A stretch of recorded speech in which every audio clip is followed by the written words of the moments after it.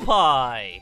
Planning to be helmed by director Genndy Tartakovsky, previously known for all sorts of legendary works like Samurai Jack, Dexter's Laboratory, Hotel Transylvania, of course, and really a good chunk of my Cartoon Network childhood. What followed next and came to replace the Popeye movie was in fact the Emoji Movie. Six years since that old sneak peek and eight years post-announcement, that slick Popeye movie is coming back. But this animated Popeye is being reworked with King's Features Syndicate, ones who own the Popeye brand, and Genndy Tartakovsky is back on board too, as of May of 2020. It should be noted that this is being reproduced from the ground up, and though Tartakovsky is back, they're starting all over again. And it is worth noting that it will also not be necessarily sharing the same style as that Sony test for the material. we do know the movie is set for release in 2022 and